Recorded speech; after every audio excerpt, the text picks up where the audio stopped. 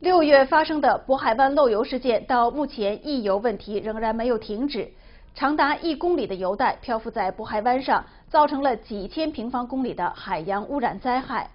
有媒体比较渤海湾事件和去年美国墨西哥湾漏油事件，可以看出两国政府面对重大污染事件的处理态度完全不同。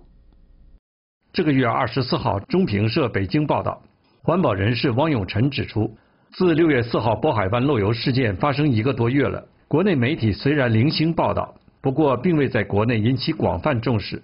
对照去年四月在美国发生的墨西哥湾漏油事件，两国政府在面对同样的环境污染灾害时，明显不同的处理态度。报道指出，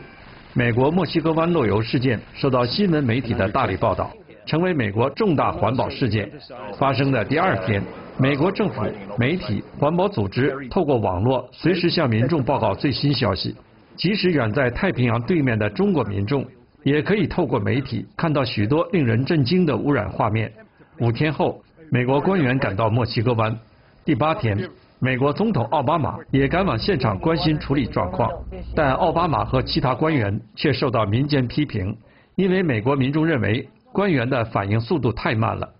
反观中国的渤海湾漏油事件，六月上旬发生后，直到七月五号才由国家海洋局对外通报，证实了这次污染事件。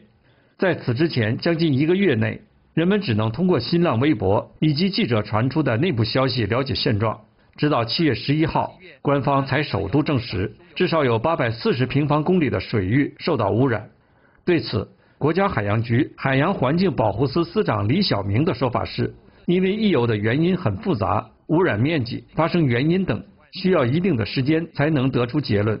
报道还指出，墨西哥湾漏油事件发生八个月之后，美国媒体又进行了新一轮追踪报道，关注墨西哥湾污染事件的后续赔偿问题与环境复原进度。对此，汪永晨感慨：渤海湾漏油事件发生以来，国内媒体几乎都是淡化处理。也许因为中国还有太多事情需要报道了。不过汪永晨也猜测，不知道是不是还有别的原因。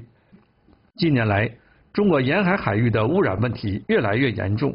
中国之声二十五号报道，不止这次的渤海湾漏油事件。以山东省为例，二零一零年烟台市海洋环境公报指出，去年烟台近海发生了三起赤潮，最大面积六平方公里。黄海中北部海域持续一个多月发生大面积虎台绿潮，光是打捞清理的虎台就超过了九千八百吨。去年，烟台市监测的十九个由陆地排污口排放入海的污水总量达到了三亿两千万吨，这些都让中国沿海的污染越来越严重，甚至造成民众因食用深海鱼发生重金属汞中毒等问题。新唐人记者曾耀贤、郭静综合报道。